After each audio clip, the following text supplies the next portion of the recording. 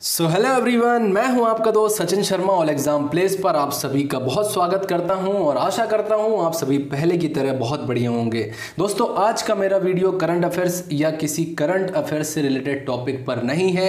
आज हमारी बात होगी आपको लेकर, हमारे देश के सैकड़ों छात्रों को लेकर, जो हमारे देश की वर्तमान स्थिति को लेकर काफ़ी चिंतित नज़र आ रहे हैं। दोस्तों, एक सितंबर को जिस ऊर्जा के साथ आपने हमारे देश के नेताओं और हमारे देश के आला अधिकारियों तक अपनी बात बात को पहुँचाने का प्रयास किया है।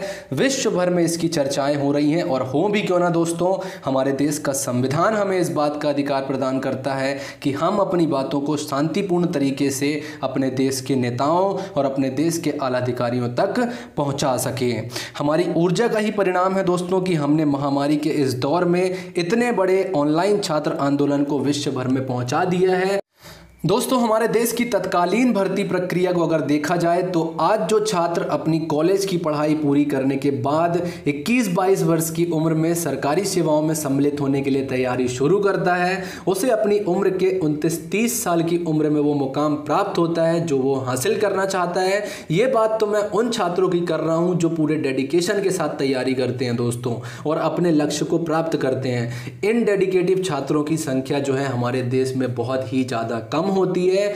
इसके साथ साथ बहुत सारे छात्र ऐसे भी हैं जो किसी परीक्षा की तैयारी शुरू तो करते हैं, लेकिन देश की लाचार सरकारी भर्ती प्रक्रिया से परेशान होकर बीच में ही अपने लक्ष्य को त्याग देते हैं और क्विट कर जाते हैं। इसके अलावा बहुत सारे छात्र हमारे देश में दोस्तों ऐसे भी हैं जो संसाधनों के अभाव में अपनी तैयारी छोड़ देते हैं। अपने घर वालों की ज़रूरतों को पूरा करने के लिए, उनके लिए रोजी रोटी की तलाश में वो लग जाते हैं। तो दोस्तों, आखिर कब तक ऐसा चलता रहेगा।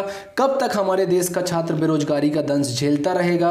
आखिर हज़ारों लाखों खाली पड़े सरकारी पदों पर सरकार का ध्यान कब जाएगा? जब बात चुनावों की आती है तो सरकार चुनाव आयोजित कराने में किसी भी प्रकार की देरी बर्दाश्त नहीं करती है। एक नियत तिथि तय कर दी जाती है और उसी दिन जो है चुनाव आयोजित कराए जाते हैं। तो आखिर क्यों सरकारी पदों पर भर्ती के लिए सरकार जो है ये अपना स्टैंड नहीं लेती है?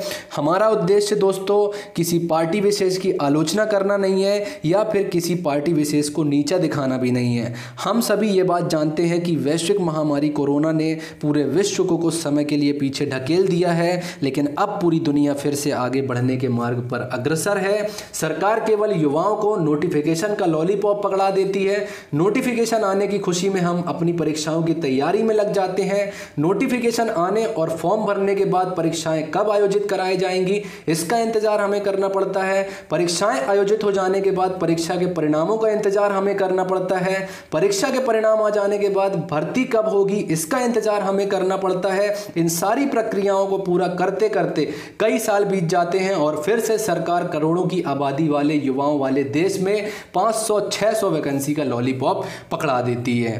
केंद्र की सरकारी नौकरियाँ तो छोड़ो दोस्तों, मध्य प्रदेश की बात करें तो 2020 के शुरुआती महीने में आयोजित कराई गई। मध्य प्रदेश लोक सेवा आयोग की प्रारंभिक परीक्षाओं के परिणाम भी अभी तक सामने नहीं आए हैं।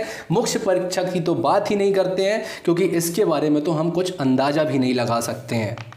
दोस्तों, इस लाचार भर्ती प्रक्रिया के चलते हमारे देश के कुछ छात्र ऐसे हैं जो ओवर एज हो जाते हैं और कई तो डिप्रेशन और एंजाइटी में इतना ज़्यादा शिकार हो जाते हैं कि अपने जीवन को भी समाप्त कर लेते हैं। तो दोस्तों, बहुत खाली हमने लॉलीपॉप की मार, अब करेंगे हम रोज़गार की बात। ऑल एग्ज़ाम प्लेस और हमारे चैनल के सत्तर हज़ार से अधिक छात्र सरकार के समक्ष अपनी कुछ मांगे रखना चाहते हैं, जो इस प्रकार है। पहली मांग है हमारी कि किसी भी परीक्षा का नोटिफिकेशन निकालने से पूर्व सरकार को नोटिफिकेशन में ये बात भी मेंशन करनी होगी कि किस माह में या किस तिथि को परीक्षाएँ आयोजित कराई जाएँगी। दूसरा यह है कि परीक्षाएँ आयोजित कराने से पूर्व ही सरकार को इस बात का आश्वासन भी छात्रों को देना होगा कि परीक्षा आयोजित हो जाने के कितने माह के भीतर जो है परीक्षा के परिणाम जो है ये घोषित कर दिए जाएँगे। हमारी तीसरी मांग ये है कि परीक्षा के परिणाम घोषित हो जाने के कितने माह के भीतर जो है उन पदों पर भर्ती प्रक्रिया पूरी कर ली जाएगी, ये बात भी सरकार को बतानी होगी।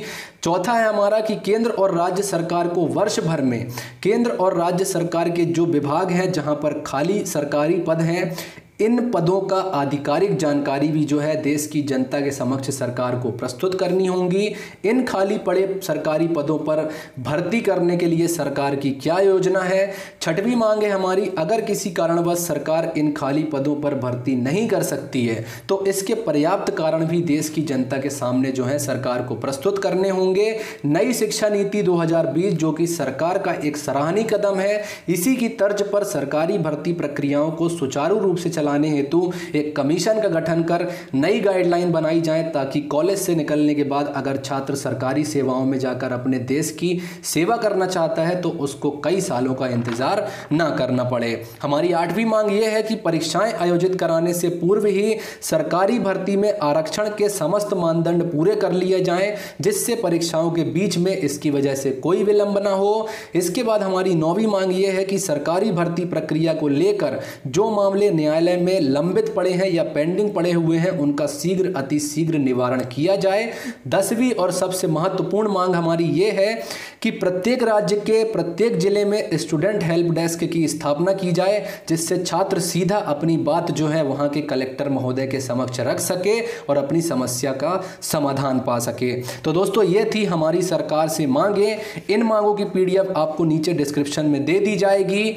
दोस्तों, हम ये नहीं कहते हैं कि आप इस महामारी के दौर में खाली पड़े सरकारी पदों पर भर्ती कराएँ।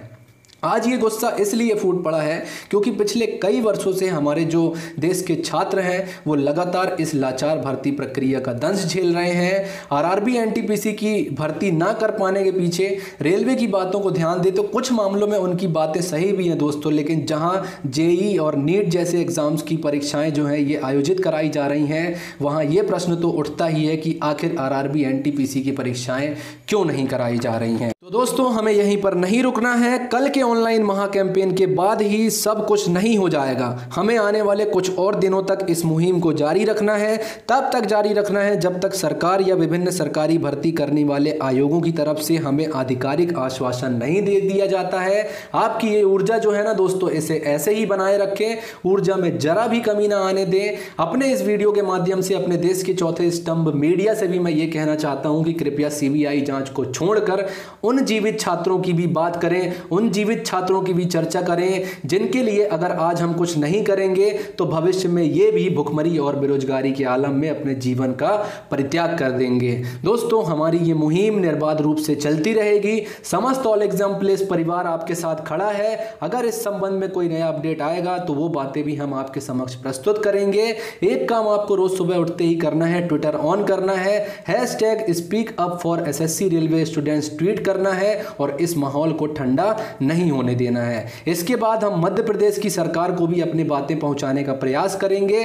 भर्ती हमारा जन्म सिद्ध अधिकार है दोस्तों और हम इसे लेकर रहेंगे। तो आपसे मुलाकात होगी अपने अगले वीडियो में। तब तक के लिए नमस्कार। जय हिंद, जय Bharat and thanks for watching this video